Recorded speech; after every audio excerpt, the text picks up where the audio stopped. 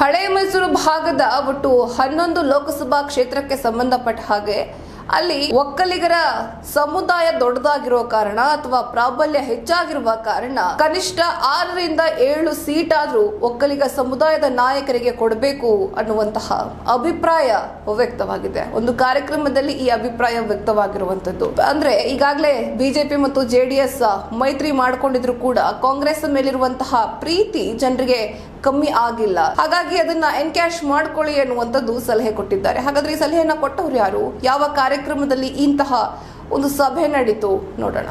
ಲೋಕಸಭಾ ಚುನಾವಣೆಯಲ್ಲಿ ಕನಿಷ್ಠ ಏಳು ಕ್ಷೇತ್ರಗಳನ್ನ ಒಕ್ಕಲಿಗರಿಗೆ ನೀಡಬೇಕೆಂದು ಬೇಡಿಕೆ ಕಾಂಗ್ರೆಸ್ನಲ್ಲಿ ಮುಕ್ತವಾಗಿದೆ. ನಾನಾ ಹುದ್ದೆಗಳಿಗೆ, ಸ್ಥಾನಗಳಿಗೆ ಮತ್ತು ನಿಗಮ ಮಂಡಳಿಗಳಿಗೆ ಆಯ್ಕೆಯಾದ ನೇಮಕಗೊಂಡ ಒಕ್ಕಲಿಗ ಸಮುದಾಯದ ನಾಯಕರನ್ನ ಮತ್ತು ಪ್ರತಿನಿಧಿಗಳನ್ನ ಬೆಂಗಳೂರು ನಗರದ ಖಾಸಗಿ ಹೋಟೆಲ್ನಲ್ಲಿ ಸನ್ಮಾನಿಸಲಾಯಿತು. ಈ ವೇಳೆ ಕಾಂಗ್ರೆಸ್ ಒಕ್ಕಲಿಗ ನಾಯಕರು ಲೋಕಸಭೆ ಚುನಾವಣೆ ಹಾಗೂ ರಾಜ್ಯಸಭಾ ಚುನಾವಣೆ ಸಂಬಂಧ ಸಾಕಷ್ಟು ಚರ್ಚೆ ಮಾಡಿದ್ದಾರೆ. ಹಳೆ ಮೈಸೂರು ಭಾಗದಲ್ಲಿ ಹನ್ನೊಂದು ಕ್ಷೇತ್ರಗಳಲ್ಲಿ ಒಕ್ಕಲಿಗರ ಪ್ರಾಬಲ್ಯವಿದೆ.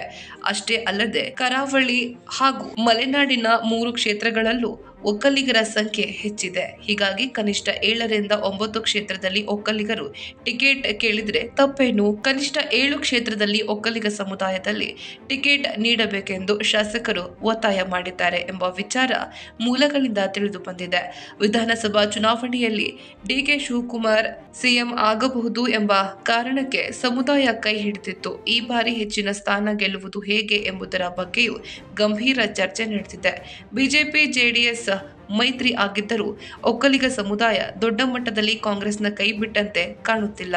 ಇನ್ನು ರಾಜ್ಯ ಮಟ್ಟದಲ್ಲಿ ಮುಂದಿರುವ ದೊಡ್ಡ ಅವಕಾಶವನ್ನ ಸಮುದಾಯದ ಗಮನಕ್ಕೆ ತಂದು ಮನವೊಲೈಸಲು ಸಭೆಯಲ್ಲಿ ತೀರ್ಮಾನ ಮಾಡಲಾಗಿದೆ. ಪರೋಕ್ಷವಾಗಿ ಎರಡೂವರೆ ವರ್ಷದ ನಂತರ ಡಿಕೆಶಿ ಸಿಎಂ ಆಗೇ ಆಗ್ತಾರೆ ಎಂಬ ಕಾರ್ಡ್ ಪ್ಲೇ ಮಾಡುವ ಬಗ್ಗೆ ಚರ್ಚೆ ನಡೆದಿದೆ ಎನ್ನಲಾಗ್ತಾ ಇದೆ.